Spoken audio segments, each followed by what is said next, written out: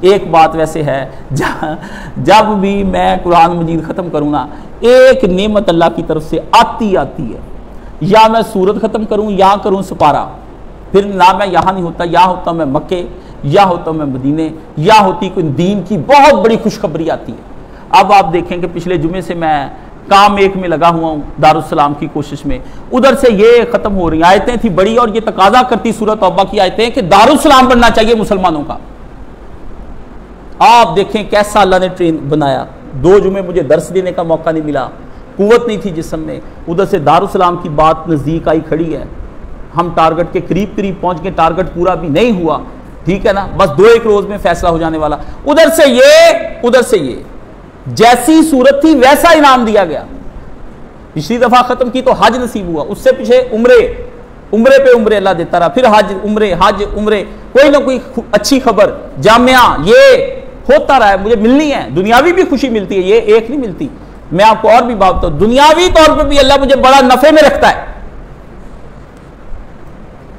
ہر پہ مجھے خوشی ملتی ہے۔ تو یہ بھی انشاءاللہ ہمیں جلدی وہ خوشخبری اللہ نے دے دینی، اس کے اب میں نے یہ تب شروع کرنا ہے۔ جب میرے دار السلام کا سارا بیانہ ہو جائے گا اور سارا پھر نیا درس انشاءاللہ العزیز کروں گا، اب اللہ کی رحمت سے میں دیکھ رہا ہوں کہ یہ چند دن میں کیا ہونے والا ہے۔ انشاءاللہ تعالی اللہ نے فرمایا، بہت اچھا کریں گے۔ وہ آخر دعوانا الحمد للہ رب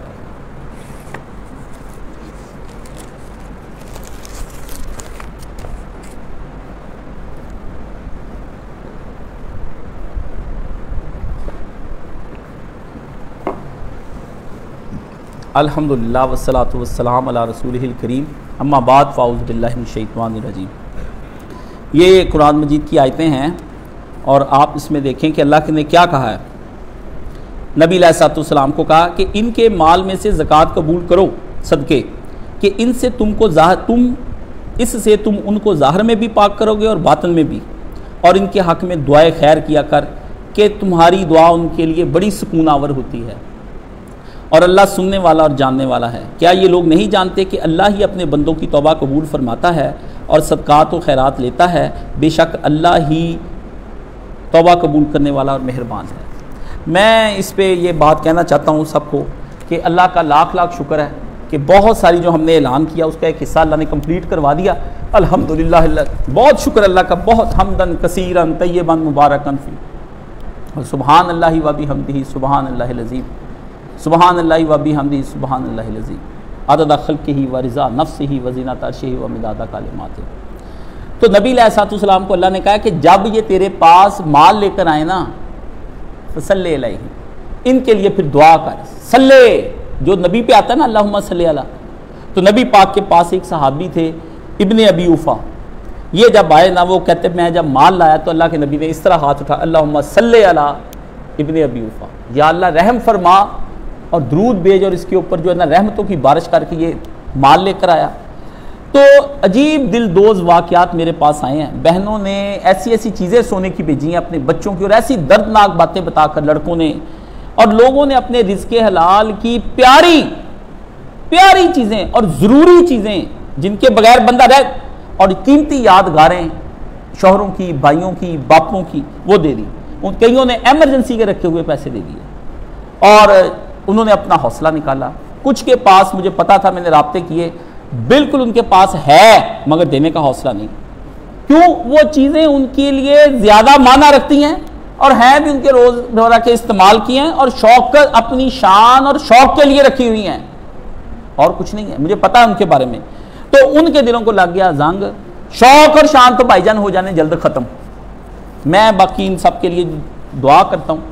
او جی ہمارے یہ خرچے وہ خرچے تو تھوڑے مکنے نہیں قیامت دن تک وہ تو آپ کا قیامت کا دن آ جانا ہے وہ تو خرچے کوئی نہیں بند ہونے کیونکہ آپ کے مرنے کے بعد بھی بہت خرچہ ہونا ہے اور آپ پر بھی بڑا خرچہ ہونا ہے مرنے سے پہلے کینسر ہونے ہیں بڑا کچھ دوائیاں رکھی ہیں میں یہ جو بندہ کہتا ہے ایمرجنسی کے لیے رکھا ہے ایمرجنسی کے لیے اللہ کو رکھیں باقی کسی کو نہ رکھیں نہ نہ بھائی جان یہ سوچ ہی کفر ہے اللہ کہتا ہے جو بندہ میرے ساتھ سوچتا ہے مجھے اللہ نے نہیں ایمرجنسی ڈالنی فرمایا میں ڈالتا بھی نہیں جو کہتا ہے مجھ پر آ جا نہیں، فرمایا میں ڈال دیتا ہوں۔ تو نے مجھے اتنا برا سمجھا کہ میں ہر وقت تجھے زیت دوں گا۔ چل پھر زیت ہی صحیح۔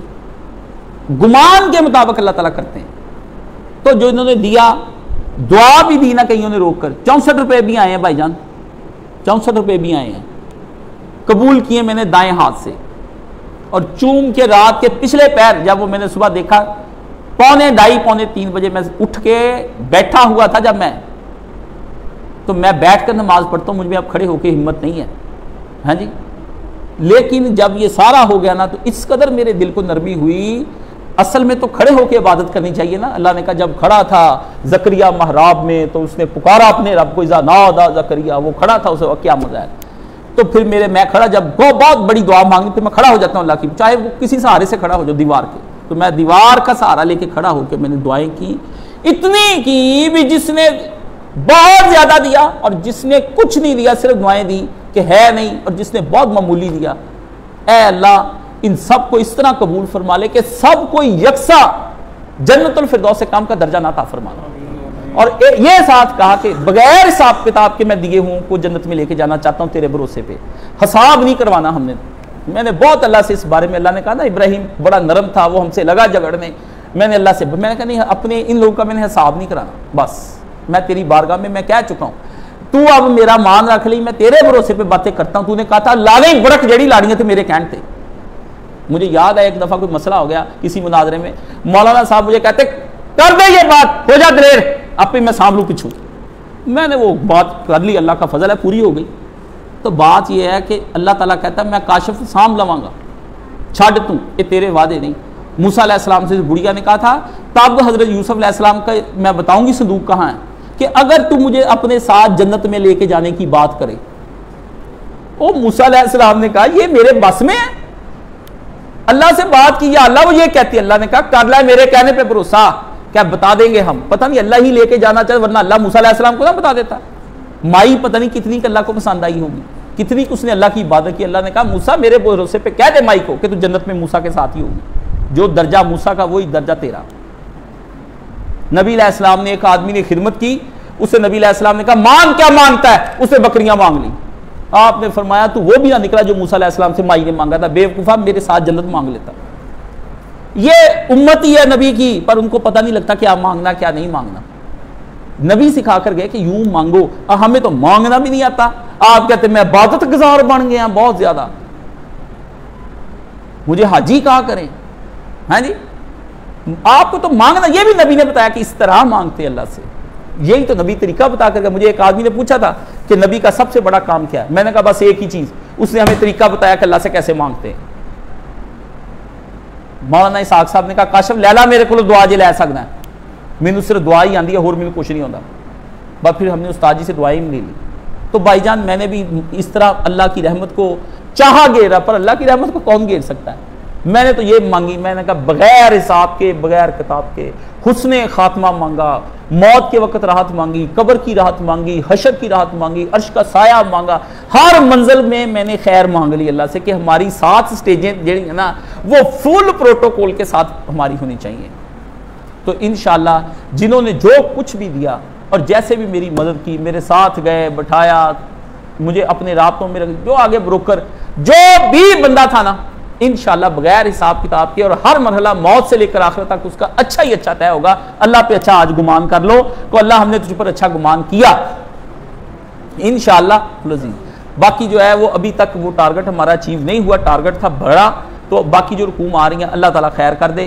انشاءاللہ تعالیٰ اسلام کا، اے دو جہاں کے والی، میری ماں کی روٹیاں پکاتی یا برتن دھوتی پڑتی تھی۔ اے دو جہاں کے والی بیٹھا ہے پھلائے تیرے در پر، پھلائے جولی خالی۔ اسلام کا یہ بوٹا پھر سے ہرا برا ہو۔ نبی کے اس پھول کو پھر سے پھول لگتے ہوں۔ اے دو جہاں کے والی پھیلائے کھڑا ہے تیرے در پہ جولی خالی۔ اے دو جہاں کے والی، بس ایک ہی خواہش ہے، اسلام کا بوٹا ہرا بھرا ہونا شروع ہو جائے نا جب۔ تو پھر اللہ تعالیٰ سے دعا ہے کہ اس کو پھر ایسے پودے اور خوشبوئیں لگائے، کافروں کے گھر میں اندھیر مچ جائے۔ ان حربی کافروں نے جو مسلمانوں کے ساتھ کیا ہے، ٹھیک ہے نا؟ اور منافق مسلمانوں کو پتہ لگ جائے کہ اہل ایمان کے ساتھ جو ظلم کی کر سکتے تھے نا، یہ کر لیں۔ انشاءاللہ العزیز، یہ عام اداروں کی طرح کا دارہ نہیں ہوگا۔ یہ ایک بالکل عجیب ہی چیز دنیا کے اندر آئے گی جو پورے عالم اسلام کے لیے راحت کا باعث بن جائے گی۔ انشاءاللہ العزیز واخر دعوانا الحمدللہ رب العالمین۔ اب آپ صفحے سیدھی کر لیں اور جس نے وضو کرنا تازہ کر لے، پھر خطبہ دیتا ہوں۔